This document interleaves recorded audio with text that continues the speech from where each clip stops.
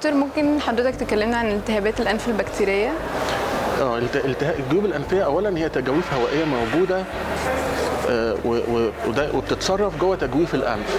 آه، هي أربع آه، أنواع من الجيوب الأنفية يمين وشمال فوق العين وتحت العين وما بين العينتين وخلف العين. ودول كلهم بيتصرفوا جوه تجويف الأنف. لو حصل أي مشكلة في تصريف الجيوب الأنفية زي مثلا دور برد عادي فيروسي زي انحراف في الحاجز الأنفي أو حساسية ممكن يبتدي يحصل إن الإفرازات اللي جوه الجيوب الأنفية تبقى آه، ما تعرفش تتصرف وبالتالي يجي البكتيريا تغزو المنطقة وتعمل التهاب بكتيري في الجيوب الأنفية.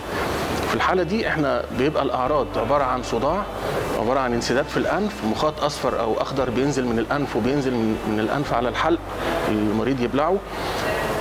ممكن ارتفاع في درجة الحرارة. طبعا أنا بتكلم عن الالتهاب الحاد البكتيري. بس لو الالتهاب قعد أكتر من ثلاث شهور ده بنسميه هنا بقى التهاب آه، مزمن في الجيوب الأنفية في الجيوب الأنفية. العلاج الأول بيبقى بالأدوية إن إحنا بندي حاجات مزيل احتقان وغسول للأنف ومضاد حيوي بحيث إن إحنا نحاول نصرف الإفرازات اللي جوه الجيوب الأنفية.